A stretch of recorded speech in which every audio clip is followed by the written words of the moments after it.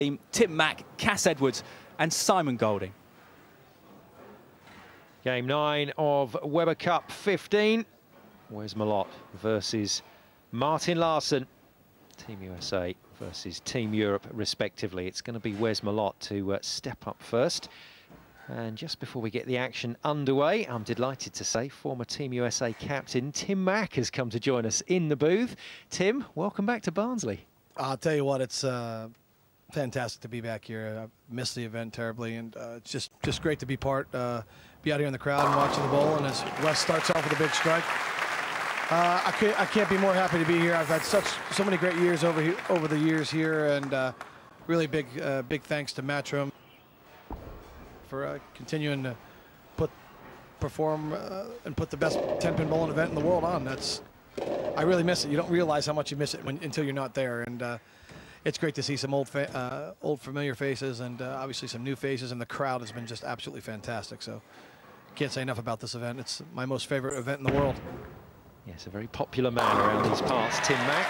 And uh, Martin Larsen's just made himself pretty popular. TV, I mean, this setting's not going to not going to mess with him. I can tell you that right now. And the only thing is, he's just to wants to get comfortable with his ball ball reaction and bowling ball. And it looks like uh, on this 38 foot oil pattern, he's he's chosen the right ball and uh, he, he's starting to get comfortable. Well, leaves a 10. Not the first time we've seen a flat 10 this this weekend. No, I mean it's been interesting to see how the uh, yesterday, you know, in the as the weekend goes on with all the different oil patterns, how the balls go through the pins and how differently the pins fall. You know, today you see the scoring pace is just a, a tad higher. You know, when you tend to shorten up the oil patterns, you know, the scores you are, tend to go a little bit higher. So because the balls can create a little bit more entry angle, there's a little bit more friction on the lane. So you'll tend to see a, a little higher scoring pace. But if you look at it on paper right now, you know, and the way the lane is playing, Wes Malott is the huge favorite. But, uh, you know, Martin's got a got a nice look uh, with, with, this ball that he's chosen. And, uh, you know, if he gets out to early double here, it could, it could free him up. Well, Cass Edwards, former Great Britain international, alongside us in the booth as well, and that'll do nicely, won't it, Cass, for Team Europe? Yeah, two in a row. Great start for Martin Larsen, who, yeah, was pretty much uh, up against it. Big Wes is uh, probably the favourite for this one, but uh, look at this shot from Martin. Slightly light in the pocket and trips the five and the seven pin. How about that? Lucky old Larsen. Team Europe winning five in a row. I mean, Cass, would you agree with me that this this match could be a huge match early in, in, in this event to get some momentum from for you for the team Europe? Because if they're able to steal this one from from the USA guys. Absolutely, Tim. Yeah, if Martin can steal this one, they're just one uh, one point out of it. That'd be five four, going in with a couple of games to play in this session. So yeah, right back in it. As you say, um, sessions can swing 5-1, 6-0, either way. So uh, it's going to be really interesting as uh, just spares that uh, 10 pin in the corner there. The pesky 10 pin left by Wes Malott. All sorts of different changes, Tim. We've seen him move left, we've seen him move right. It's been a, it's been like a dancing contest. Yeah, no doubt. And if you uh, just saw, it looks like Wes was talking to his captain. Looks like he might make a ball switch. He doesn't like how his ball's going through the pins. I, he might change to a similar ball that Martin Larsen's using, and uh, you might see uh, him switching that ball to the next frame. As Martin's kind of getting the ball to go through the pins the right way. Yeah, it's a big difference. You can see it. Martin's got a great angle uh, getting comfortable. And, uh, you know, Larsen is, is the classic, and Cass could attest to this, the classic stoic Swede who just, you know, shot repeats, shot repeats, shot repeats. And, and as you mentioned earlier, can do so many different things, can play on the lane so many different angles. And as you said, when he gets comfortable, you know, his confidence, you know, continues to grow. And we're talking about eight world-class players. Of the Swedes and guys like him. And, of course, you know, the eight of the uh, best players in the world here. Another ringing 10 pin for uh, Big Wes. That's two in a row. Yeah, I think you might see Wes switch balls here, guys, uh, soon. Um, if Martin should throw another strike uh, and put put a little bit more heat on uh, on on Wes here early, I think you might see Wes switch to something a ball that's a little stronger, makes a little bit different motion, so he can get the ball to go through the pins the right way. That's that seems to be the problem right now early. Yeah, of course, totally agree with you because he can't afford to fall any further behind. Larsen's perfect so far through three and it's just becoming a carry contest whether it's going to be a strike you know, or representing the United States out there with the red, white, and blue. Yeah, you're trying to buy something here, are you? Dear I'm just, you know, just you know, trying to be a little uh, observatory out there. now then, three in a row for Larsen, working the turkey. And And turns it into a four-bagger. There's some concerns out there for these guys, but Larsen's making all the right moves. Yeah, you can see that Martin's ball is going through the pins the right way. He's got the half pocket strike, the light strike. So his ball is making the right motion and going through the pins the right way. You know, he's a little bit light, but it's got enough energy down the lane to continue to cre create the pin action into the sidewall. You see the head pin go off the sidewall and, and mix him up in the corner. So, as you said, Cass, what do you think? Uh, what do you think the move is here for Wes? Well, certainly a ball change, which it is. A little bit straighter, but just hurries on, doesn't it? Leaves the 2-8 standing. Fortunate to kick the 10 pin out. So, yeah, light hit. A little bit straighter shot, but and tried it. Running so, out of frames. Uh, you know the red, white, and blue ball. You might see he might be pointing to it right now. You might see him get the get that ball out now. Let's see if uh, he makes that change or not. So because they can both play similar angles. Wes can get in a little further left into the lane than Martin, so he can hook it a little bit more. Uh, but he's got it. Yep, there it is. As I said, there's a, there's the ball. There's the choice. Uh, you can see that Martin's ball is going through the pins the right way, and um, you know, this is when you get to this level uh, uh, at, at, this magnitude uh, in this setting. You know, it's all about matching up and and, and, and making shots. And uh, these are eight of the best players in the world that make shots for a living. And uh, you know, if he if he can get comfortable, let's see if this ball does the damage on his next first ball, guys. There you go, spare ball experiment with the new ball, and we'll see what happens when he steps up next time. So uh, changes are plenty for Wes Malott. A little kid Cass. Uh, I used to watch uh, the Transformers. it's actually the balls they called Optimus, so it's it's actually one of my favorite favorite bowling balls. I, lo I love using it. so well, my, Larsen. My first ball was uh, given to me by Fred Flintstone. gentlemen, gentlemen, and a first slight error from Larsen. Once again, it's the problem pin for the right hand of the 10 pin in the corner if you see Simon, that ball was a little bit left to target. And it was a little bit firmer, and uh, you can see the oil is, you know, in the unique environment that we're in, the oil is always moving and changing, and you've got to get the ball to to slow. When I say slow down, hook in the right spot and roll in the right spot, and uh, that was just a little firm and in, and hence that's why you saw the 10 pin. So, uh oh, oh, just holds it. No problem there. The Cass Edwards and former USA team captain Tim Mack in the booth. And uh, we are unfortunately seeing a man in some uh, serious trouble out there on this single lane. That's shocking. I got to be honest with you. I thought that, you know, that ball's a, a much stronger bowling ball, and it, it, it, went right past it. But you can see Wes is a lot further deeper into the lane, catching the catching the oil in the front, and with the lights and the unique environment, it just slides past the break point. It never gets it never gets a chance to pick up a roll. When you watch where Martin Larsen attacks the lane, he's a little bit further right. He's got a little bit less rev rate, so he's trying to play. You know, he's playing a little bit different angle, and hence that's why he, uh, you know, he's got the better score right now. This one could be over, Tim. If Martin keeps going, he's not going to give this one away, I don't think, and early there's not enough room. In the event early uh, uh, on this weekend to really get the, the Europeans on, on target here. Yes, especially since uh, Tommy Jones and Bill O'Neill step up next for Team USA in the doubles. They haven't bowled yet in this session. Martin Larsen will be alongside Stuart Williams, so Larsen will be able to give Stuart Williams a lot of pointers.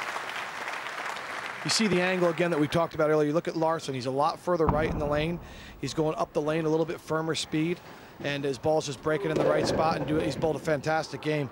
A game that I, I, I feel like the Europeans really needed to get to get some uh, to get some momentum going, to get some uh, to get some moxie out there on the lane, so that they uh, for future matches, you know, hey, let's get this momentum. Let's see if we can snowball it our way. Yeah, that's exactly what Larsen is doing, putting together a sterling performance here, the Swede. That's Wes Malott, a man all at sea. Well, he cannot find a way to this pocket, and the single lane that he was so looking forward to playing on has claimed another victim here. Yeah, that was interesting. He kind of moved further right there into the lane and uh, tried to play closer to the angles that, as we see the captain, Chris Barnes, he's shaking his head too. Good, but um, you know the lane's changing out there, and uh, I'm sure Wes will figure it out. He's one of the best in the world. Uh, he's having a little bit of a chuckle with his team, and no harm, no foul. They're still up 5-4, so they're still got a lead. But um, guys, he's got to figure out, you know, figure out this lane towards the uh, last three or four frames in this game. Where are these guys off to soon? They've got. Uh, World Series at home in the States, uh, yeah. World Championships. Just just a huge, huge, huge bowling uh, calendar coming up. Larsen's all class here in this match. Big, big, big shots by Martin Larsen. But, Cass, back to what you reiterated. Uh, we've got a huge schedule coming up. We've got the World Series of Bowling in Las Vegas, where we've got seven tournaments in, in a span of 10 days. Um, and then uh, we've got uh, the World Championships coming up, which many of the players that you see a- a- out there on the lane today will be representing their countries in the World Championships, which is in Abu Dhabi in the end of uh, uh, beginning of December. I'll actually be there with the, the, the Bermuda national team, so I'm looking forward to being there, coaching them and training those guys. Um, uh, the schedule's full. We've got the Japan Cup coming up. We've got the AMF World Cup coming up. As you see, Wes put the hands up. Great shot from the big fella. Um, but as you said, guys, huge schedule coming up. So this is a really important event in the calendar. Kind of kicks off. Well, that's that's that, that that's the. I'm sure that we most of the guys have families that. That's the the intention to get back home for a little Christmas uh, holiday for sure. Well played to Martin Larsen. Well, through the head pin on that one, but the job's already done for Martin. Very good performance from him. Little Bird also tells me, uh, Mr. Mack, you've thrown the odd ball or two again recently. Yeah, I, uh, I, I'm, I'm, I took a couple of years uh, break. I was uh, living in uh, in the Middle East, training a national team. I had some health issues, and um, I'm finally starting to play a little bit again. I've I, I- I've got a new position at the company that I've been with Storm Bowling Products. It's been a great supporter of bowling worldwide. Uh, I've really enjoyed that, but uh, you know I still miss being on the lanes. Great spare from Martin. Uh, there, guys, as he covers the baby spot. And that'll about do it. Martin just has to stay behind the foul line. It's going to be 5-4 Europe. But, you know, it's it never leaves you, Simon. It's always in your blood, you know, and it, and getting here just fueled my juices a little harder. I'm going to continue to train in the gym hard and continue to get stronger, and uh, you know, hopefully my health will continue to improve, and I can get out here on the lanes and, you know, by the good fortune, uh, you know, be back in, in- involved in bowling at a high level. But uh, I'm trying to make a difference in the game on, on, on other levels with coaching and teaching. And there's a little messenger. Oh, right in front. Yes, spoken like a true Nittany lion. Yeah, you know that you, you never give up. You know, um, uh, my uh, my coach uh, Joe Paterno, he's, you he gave me a great uh, phrase to live by. You either get better or you get worse. You never stay the same. And I'm I choose to get better right now every day, and that's what I'm trying to do. I'll try to get better in all facets. You know, whether it's bowling, whether it's coaching, whether it's you know family and friends. You just want to try to be a better person day in and day out. So, trying to do my best I can. But I miss I miss being on the lanes. Uh, it's been great to be around these guys. You know, I got eight guys out there that are really good friends. I'm really good friends with obviously my my, my country, my teammates. And this week I was fortunate enough to wor- do a lot of work with Dominic Barrett and Stuart Williams uh, here in, the, in, in their home country. So um, just love being a part of 10 pin. As, as Cass said earlier, a world-class game here from Martin Larsen, Cass. You know, you can't ask for anything more. This is uh, really narrowed the gap. And uh, hats off to Martin for a fantastic performance. Yeah, he's come back. He's uh, going to be 250 plus. He's loving that, you know. He is absolutely really pumped, felt isn't this he? is a key match. You know, if you know they put Wes in this in, the three hole here, uh, expecting uh, you know a pretty big game, and you know he just couldn't get his angles right. And um, I can tell you right now, Big Wes Malott is going to figure it the out. line a long time ago. He's figured it out. He's figured this crowd out anyway. Best crowd in bowling, guys, hands down. They're just a, they're such a knowledgeable crowd. I mean, there's not a seat, up you know, almost every seat in the house is filled. Know, again, that's hats off to the triple8.com for, uh, you know, the great sponsorship and the great fans here in England. And, and, and Matchroom, you know, they just put on the best event in the world. Um, it's the premier 10-pin bowling event in the world. And uh, you guys are lucky you get to sit up here and talk about, watch eight of the best players in the world go at it match to match to match. And I got to be honest with you, I'm tickled pink to be back, and I'm really lucky to be here too. So, fans, great fans, and it's going to be a great, great, great weekend. Yeah, we certainly appreciate just how lucky we are. Wes Malott, though? We'll not be feeling too lucky Europe. right now. And uh, listen, guys, it's game on. It's straight game on right now. It's all going Martin Larsen's way. That definitely was in line with his nickname, slightly lucky. But he'll take whatever's coming. Lots of sportsmanship and camaraderie up there on the stage.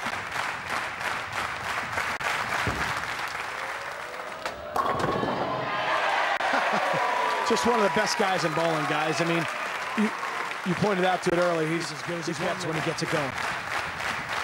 Nice work then from the Team Europe man. Nice work from Tim Mack in the booth. Nice to see you again, Tim. Hope you can uh, join us at some stage in the future uh, of this Weber Cup 15. Be great. Thanks, guys. Thanks for having me. Well Yeah, done to Martin Larsen. Phenomenal performance from him. You can tell how pumped he is about that. Keeps it pretty close to his chest, but he's just letting...